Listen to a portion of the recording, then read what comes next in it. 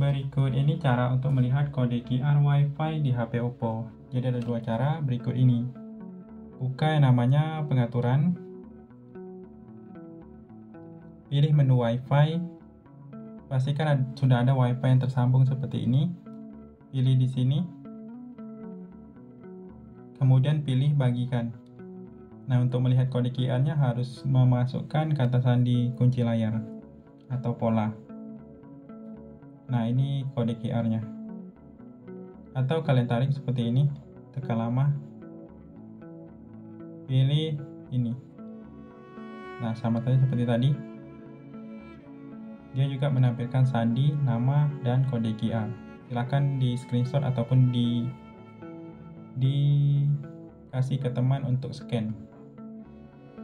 Silahkan dicoba.